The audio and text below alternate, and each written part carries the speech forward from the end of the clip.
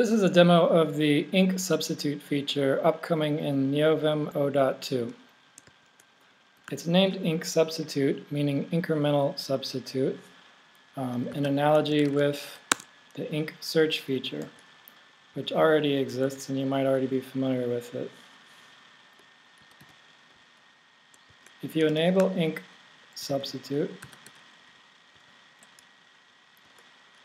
then when you do a substitution, any substitution using any pattern, the results of your substitution will be shown automatically as you modify the pattern.